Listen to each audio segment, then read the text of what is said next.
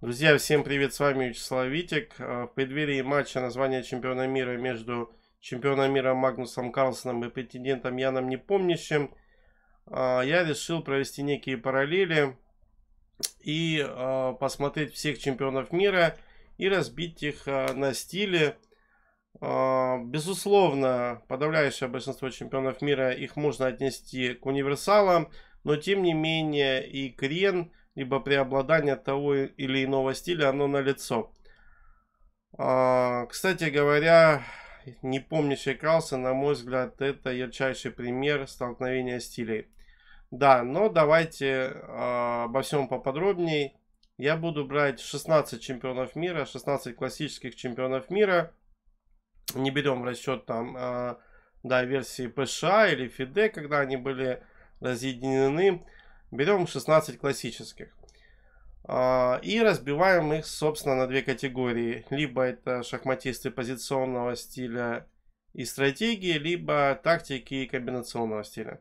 Итак, начинаем с первого чемпиона мира. Да, и в конце, безусловно, подведем итоги. Итак, первый чемпион мира Вильгельм Стенец. Но здесь, мне кажется, без вариантов. Стенец прежде всего тяготел к стратегии и позиционной игре.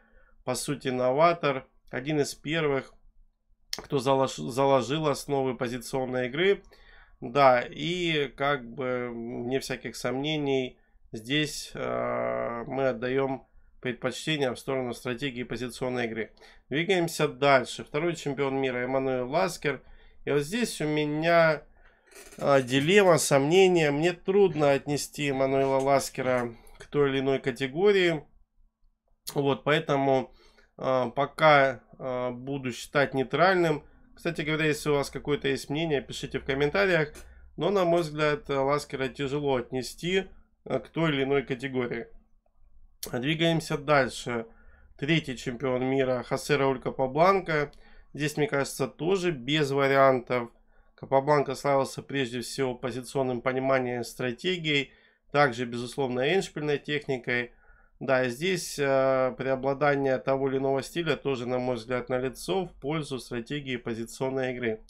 Четвертый чемпион мира Александр Алехин или Александр Олехин, э, как вам удобней, э, тоже ярко выраженный, но уже тактик и мастер комбинационной игры.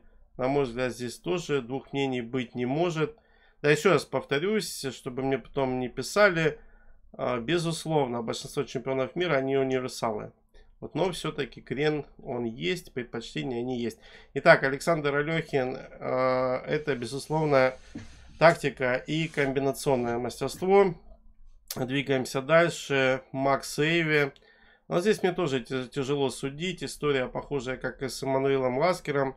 А, трудно отнести Макса Эйви к той или иной категории. Будем считать пока нейтральным. А, чемпион мира Михаил Ботвинник. Здесь тоже, на мой взгляд, все очевидно. Ботвинник прежде всего тяготел к стратегии к позиционной игре. А, практически всю свою шахматную карьеру он отмечал тот факт, что поздно начал играть в шахматы.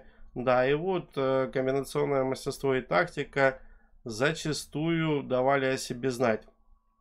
А, двигаемся дальше. Чемпион мира Василий Смыслов – Здесь, на мой взгляд, тоже предпочтение в сторону стратегии и позиционной игры. Э, гармония, да. Вот, э, хотя многие, наверное, могут со мной поспорить, но все-таки э, с Василием Смысловым, на мой взгляд, все более или менее очевидно. Да, двигаемся дальше. И у нас э, чемпион мира Михаил Таль а, тоже здесь, на мой взгляд, двух мнений быть не может. Таль славился блестящими комбинациями, а, отличным счетом вариантов. И, безусловно, мы его относим а, к тем, кто больше тяготел комбинационной игре и тактике. Хотя нельзя не отметить, что более поздние годы своей карьеры Таль уже играл в более позиционные стратегические шахматы. Uh, да, uh, двигаемся дальше. Следующий чемпион мира это Тигран Петросян.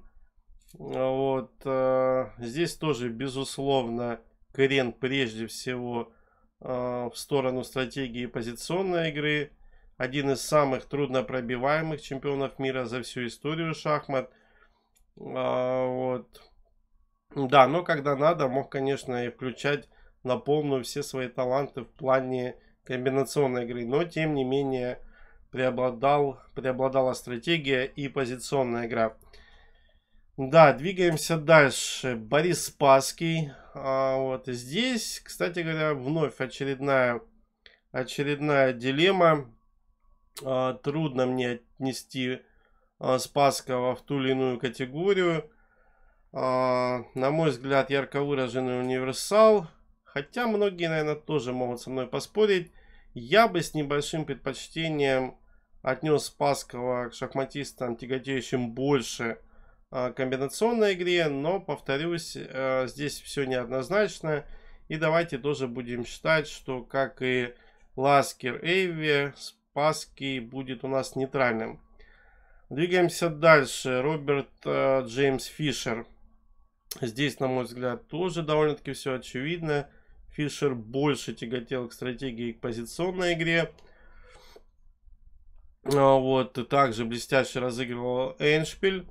Да, здесь, особо не думая, отнесу Роберта Фишера приверженцам стратегии и позиционной игры. А следующий чемпион мира Анатолий Евгеньевич Карпов. Здесь тоже без вариантов. Карпов прежде всего славился стратегией, позиционной игрой, профилактическим мышлением, умением маневрировать и лавировать. А, вот, двигаемся дальше. 13-й чемпион мира Гарри Каспаров. Здесь тоже, на мой взгляд, все очевидно. Каспаров это прежде всего блестящее тактическое мастерство, феноменальный счет вариантов. Да, и мы его относим к категории шахматистов, а, у которых преобладало комбинационное зрение и тактика. А, да, двигаемся дальше. И это Владимир Крамник. А, здесь не так все очевидно, но все-таки давайте постараюсь быть объективным. А, в лучшие годы Владимира Грамника, да и большую часть своей шахматной карьеры, он все-таки тяготел больше к стратегии к позиционной игре. Да, под занавес своей карьеры уже можно было наблюдать несколько иного Владимира Крамника, который мог лихо жертвовать э, там, фигуры качества налево и направо но все-таки большую часть шахматной карьеры и пик формы это матч с Каспаровым, на мой взгляд, Кравника надо отнести к шахматистам э, позиционного стиля, да, к стратегическим шахматистам. Да, после Владимира Крамника у нас э, Вишванатан Ананд. Здесь тоже мне тяжело отнести Ананда к, те, к тому или иному типу шахматиста. А, вот. Э, в молодые годы очень феноменально скоростной, скоростной шахматист, блестящий читающий варианты. А, вот. Скорее бы я его с небольшим перевесом отнес шахматистам комбинационного стиля. Но здесь, а, вот как и в предыдущих примерах, я бы оставил, ну, скажем так, нейтральный статус. Да, ну и вот после Вишванатана Ананда у нас идет чемпион мира Магнус Карлсон. И на мой взгляд, здесь э, тоже довольно-таки все очевидно. Э, Магнус э, прежде всего славится своим позиционным пониманием, стратегией, эйншпильной, феноменальной эйншпильной техникой. Вот, хотя, повторюсь, безусловно, еще раз повторюсь, безусловно, большинство чемпионов мира все универсалы, но Карлсона я отнесу к шахматистам, прежде всего к шахматистам стратегическим. И больше предпочитающим позиционную игру. Да, итак, давайте подводить итоги. У нас э, а, 9 чемпионов мира. Э, я насчитал, э, у которых крен и, э, скажем так, преобладание позиционной игры и стратегии. Вот, да, 4 у нас получается нейтральных, да, Ласкер, Эйвис, Паский, и Ананд.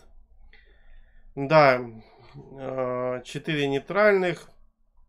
И итоговый счет у нас получается 9-3, да, насколько я понимаю. 9-3 в пользу э, шахматистов, чемпионов мира, у которых больше преобладал стиль, э, стратегии и позиционной игры. Да, возможно, кто-то э, со мной не согласится. Вот, понятно, что четверых можно отнести, не, четверых нейтральных можно отнести, скажем, к шахматистам с комбинационным стилем игры. Ну, даже в этом случае счет будет 9-7. Ну, в принципе, на мой взгляд, довольно уверенная победа а, вот, шахматистов а, с позиционным стилем и стратегией. Да, ну и пару слов буквально о предстоящем матче. Вот, еще раз повторюсь, это столкновение, мне кажется, стилей. Я не помнящий, это прежде всего ярко, вы... ярко выраженный шахматист комбинационного стиля с блестящим счетом вариантов. А, вот. а Магнус Карлсон это ярко выраженный стратегический шахматист, блестящей интуицией а, и позиционной игрой. Очередное столкновение стилей. И я думаю, что в этот раз мы вновь узнаем, в любом случае узнаем, какой же стиль победил. Хотя, безусловно, надо отметить, что побеждают не стили, а побеждает прежде всего человек. Оставляйте свои комментарии. А согласны вы с моим мнением или нет, высказывайте свое мнение. А, вот. Да, на этом я с вами прощаюсь. Всем спасибо и до новых встреч.